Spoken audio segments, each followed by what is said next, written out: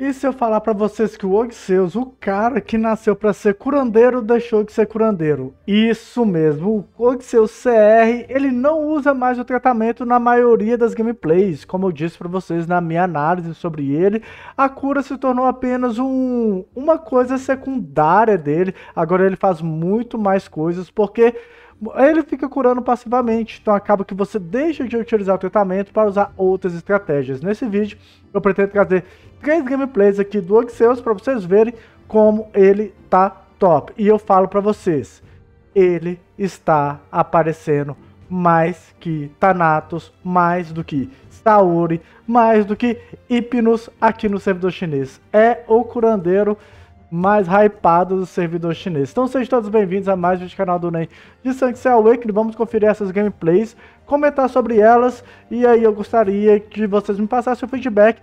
E ainda, vocês acham que o Voxeus é ruim? Porque eu sei que tem muitos jogadores achando que o Voxeus é ruim, mas os chineses estão gostando aqui muito do Oxeus. Então separei aqui três gameplays, tá? Do Oxeus. Vai ter mais gameplays do Oxeus no vídeo do Oneiros eu ainda vou fazer um outro vídeo do Oneiros também, né? Falando aí sobre as sua, suas skills, beleza? E upskill. Mas primeiro vamos começar com o Ogseus, que está aqui em todo canto. Então vou colocar aqui velocidade vezes 2, tá? Então ali o Ogseus, ele tá mais rápido, né? Com seu CR, ele tá com 400 e pouco de velocidade, então ele tá com muita velocidade, é 412. Cara, já tentou cautelar aqui, o, cauterar no Oneiros. O Oneiros é o atacante que substituiu o Thanatos. Vocês vão ver que não tem mais Thanatos direito, é só o Oneiros, cara. Substituiu o Thanatos. Né? Mas, ó, usou sua primeira técnica, né? Seu primeiro despertar, usou seu segundo despertar. Vocês vão ver que nenhum dos dois vai ser o tratamento. Então, possivelmente, é, é o tratamento, na verdade, um, né? Ele usou ele por causa do Oneiros. Então é mentira. Vai, vai, vocês vão ver que eles vão usar muito pouco. A galera tá curando ali passivamente também, como vocês podem ver. O Oneiros ali tá sofrendo. Ele ainda deve ter ativado o Revive. Né? Eu não vou falar do Oneiros nesse vídeo, porque no outro vídeo que deve sair amanhã, eu vou falar sobre o Oneiros. Tá certo? Então, ali já tá aí o Alone com dano neutralizado, somente podendo causar dano no Oneiros. Oneiros tá de fúcsia, né? Incrivelmente. Oneiros aí tá de fúcsia, a galera tá geral de fúcsia. Ativou outro skill. Ele tá com dois ainda. Despertar ainda em pra ativar, né? Neutralizou ali, ó. Já deu ataque em área. É, esse ataque em área dele, galera, ele não tá usando o dano alto dele, tá usando a skill de custo 2, porque de dano alto ele quebra seu celular ele não está quebrando o celular ou sua tela, né, do seu monitor. Então, por isso que ele não está causando tanto dano quando ele transforma, tá? Vou falar mais sobre isso também no vídeo do Oneiros, mas só para vocês já terem um entendimento melhor aí. Usou o choque, então ele já diminuiu a defesa de todo mundo. Então todo mundo vai receber dano extra. Reviveu o Oneiros, tá? Com revive. Então, quando o Oneiros dá ataque em área, Sukio dá ataque em área, Todo mundo vai tomar dano extra porque todo mundo tá com a defesa nerfadinha aí, graças ao Odisseus. Tá? Então o Odisseus sim ajudou a potencializar o dano do seu time inteiro, tá? Aí chega aí o Oneiros do inimigo, causou dano, dano bem lero-lero, de passagem não é de quebra-tela, né? Então fica nessa vibe. Então deu ali a a sua skill 2 ali. Quem que ele foi? No Aldeba? Foi no Shu MM. Shu MM tá incomodando bastante.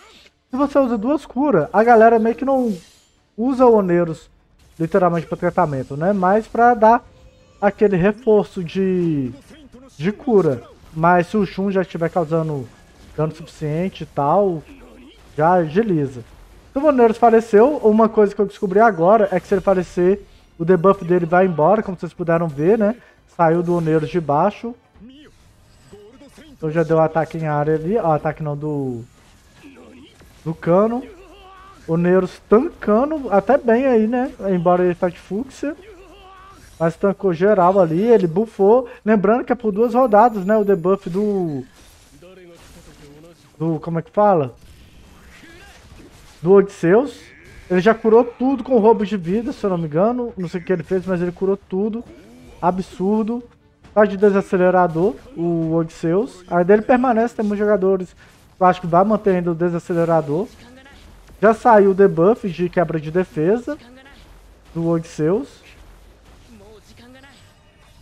Mas só os cano, o cano também tá muito meta aqui no servidor chinês, galera. O cano tá muito meta, o cano tá mais que Thanatos, o Thanatos realmente perdeu aí o seu posto, cara, perdeu o posto pro cano, é foda, né, velho? Tá atacando ali o canon invisível, mas tá tomando dano. Esse ajudando o Piff, atacando o Sukio também, que né, é um perigo atacar o Sukio. Então o Sukio vai lá, dá seu ataque, cabuloso. De novo, dá lá o seu Hadouken. Ativa um segredo, aí o inimigo fica assim, não, e agora o que, que eu faço? Ele não ativou o tratamento, como vocês puderam perceber, já que o, o Aldebaran atacou ele e era para ele ativar o, o tratamento se fosse o tratamento, né? Ele prefere não usar o tratamento, se eu não me engano, ele vai usar o choque. Mas aí o inimigo vai ficar com medinho, né? Então vai focar lá o Odisseus e deixar o Sukio livre. Então é uma estratégia de chamariz também. E o, o Odisseus oferece aí pro seu time. Ele ser prioridade de ataque e deixar aí com os seus dano, perigo, ficassem. Fiquem, fiquem né, vivo. E aí o cano vai finalizar o inimigo ele usou aquele tratamento básico com um segredinho guardado ali e venceu essa primeira luta, time de Odisseus. Confere aí, né? Dá um pausa para maiores detalhes que eu não vou comentar. Vamos entrar nessa segunda luta. Aproveita esse momento para deixar aquela moral com o seu like, a sua inscrição, compartilhar com os amigos. Olha só, nem postando aí vídeo do Odisseus, Odisseus mitando. Ou não, né? Talvez vocês não gostem do Odisseus, tá? Mas aqui é mesmo para você tentar vocês hyparem.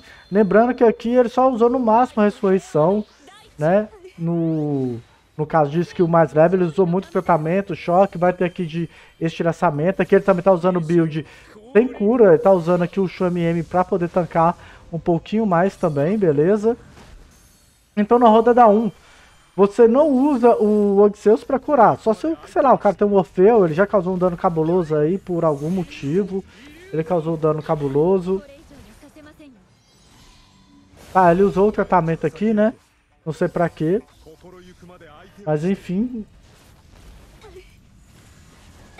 Olha só, deu choque, nerfou a, a defesa de todo mundo. Então o Oneiros, que é um atacante em área, vai causar mais dano do que ele já causa em todo mundo. Né? O Oneiros está enfrentando a Sasha, então é muito fácil ele dar contra-ataque contra a Sasha. Então ele vai transformar muito rápido também. Eu ataquei ele também, acompanhando. Ó, já ficou ali transformado. De Quimera. Já deu seu dano em área, ganhou um shield absurdo, né? Com, com sua transformação. Então dá uma sobrevida absurda aí também. Pro Nero, dificultando ainda mais eliminar ele. Então ele ativou ali um outro segredo. Ele ainda tá se curando, tá? O inimigo vai atacar com cano. Não, mentira. É ele que vai atacar com cano aqui.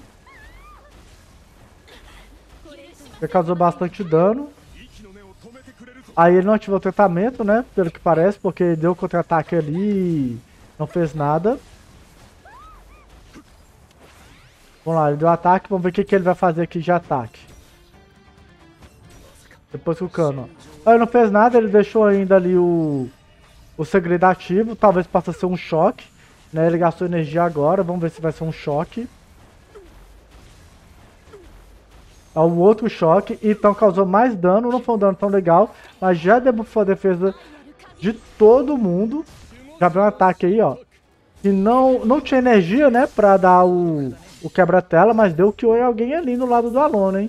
Acho que deu kill ali em alguém. O Oneiros. Então foi. Agora já vinculou ali o Odisseus, ele curou sozinho, tá vendo? Que ele deu aquela curada dele passivamente, só que aí o inimigo desistiu, o inimigo de baixo, né? Mas como vocês puderam ver, ele ainda tá usando choque. Agora vamos para a última gameplay aqui, que ele vai usar o estilhaçamento. Essa gameplay ele vai usar a estratégia do estilhaçamento, que é buffar. Eu não achei tão interessante assim o time, que ele está utilizando, já que o cano não combina tanto com o estilaçamento, né? Porque o buff acho que só vai pro cano, não pro fantasma. Mas o Shun é, divino, ele se beneficia com o seu ataque em área, tá? Mas poderia ter opções melhores, voneiros e tal, mas está jogando bem tranquilo mesmo. Então ali a, a Marechal já vira lenda. Hip total. Então, ali ele já ativou dois segredos e tal. Pegou aí o Canon. Já tá usando suas skills, porque o, o Saga Maligno vai perseguir ele. E aí ele vai usar a armadilha do Oxum Divino. Ao contrário do Global, aqui eles estão usando bastante Shun Divino, que vocês podem ver, né? No Global, pelo menos no lendário do Global, não estão utilizando Shun Divino. Aí ele vai usar o estilaçamento agora. Olha o dano, olha o dano. Todo mundo com ataque com a vida. Máxima, olha o Death Teros, olha o cano de gêmeos, olha o nosso Shun MM. Cara, ele causou muito dano. Lembrando que agora ele buffou ainda adicionalmente todo o restante do time. Ele ainda usou o tratamento, né? Pra tancar todo aquele dano inicial que o cano iria causar. Então ali ele já escondeu o Shun MM. Botou mais um segredo ali. Todo mundo buffado, mas como eu disse pra você, o cano não sofre tanto desse buff, né? Então chegou ali, tancou o Shun MM. Mas ele gastou as energias do Shun. Pra eliminar o Shun do outro, né? Que o Shun é um cara que incomoda demais. Aí ataca o Odisseus, né? Porque o Odisseus, como eu disse pra você, é aquele cara que transmite o certo perigo aí. Ele usou o tratamento. Lembrando, o tratamento, ele tá bufando o time inteiro com defesa up. Isso favorece tanto o Shun MM a se curar, né, a curar o seu time, como também é redução de dano para Persephone tancar. Então, isso aí tá muito da hora do Odysseus. Olha o dano que ele sofreu ali do do Alone, né? Ele tá com o buff de defesa. Todo time, né, tá com buff de defesa. Então a galera tá usando tratamento também para buffar a defesa no início da luta, para tancar mais dano também. Choque para causar mais dano no inimigo. Cara, eu não, não sei como não achar que esse personagem vai virar meta. Não sei. Ele tá muito AP, tá dando os buffs ali também. Acho que é o, Alon, o Cano que deu buff, né? De cura. Ah, o Cano também, né? Quando o Itera 20 de determinação, ele bufa a cura de todo mundo. Isso favorece demais aí o Odisseus. Todo mundo ali com buff de defesa ainda, né? Se eu não me engano, dura duas rodadas. Tanto o buff de defesa quanto o debuff de defesa. Além do mais, o Odisseus ainda tem o revive. Ele é um personagem bem tancudo. Ele ainda tem ainda o revive. E ainda tem a resistência a dano que ele buffa o time, né? Conforme ele tem um segredo ainda inativo, né? Então continuou, o inimigo vai ir atrás do Odisseus, porque, se eu não me engano, porque o Odisseus é perigoso, não acho que ele vai eliminar agora, vai vencer. E é isso, galera. Esqueci de mostrar o resultado do outro. Mas, se você achava o Odisseus ruim, e ainda acha o Odisseus ruim, comenta aí, porque eu gostaria muito de ouvir os seus argumentos. Para mim, o Odisseus tá lindíssimo. Vai ter mais uma gameplay do Odisseus no vídeo do Oneiros.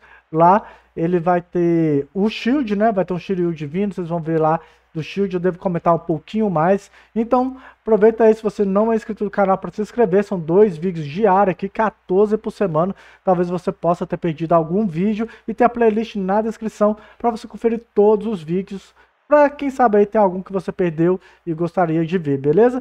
É, falando aí sobre o Odisseus, como vocês puderam ver, dá para usar ele um 3, 2, 1 de boa, a maioria dos efeitos aqui ele utilizou Revive, ele só utilizou na, na luta 1. Nessa última luta ele usou Estressamento, que é skill level 3. É, tratamento Choque já tá no nível 1 mesmo. Ele só tinha um veneno que não usou veneno aqui. A galera, pelo menos as gameplays que eu vi aqui do Odisseus, não quiseram usar o veneno. E como eu disse na minha análise dele também, o veneno não deu um brilho tão legal assim. Ficou bem meh, né? O veneno não teve um upgrade tão grande, igual teve aí tratamento, bufando defesa, choque, debufando defesa do inimigo e o estressamento é, upando. Então dá pra jogar com seus 1, 2, 2, 1. Desse jeito aqui. Obviamente ele vai ser nerfado porque ele com, começa a dar buff né, de resistência a dano e roubo de vida no nível 4 na sua skill 3. Mas ele vai buffar sua defesa, vai buffar seu ataque, vai debuffar o inimigo, cara.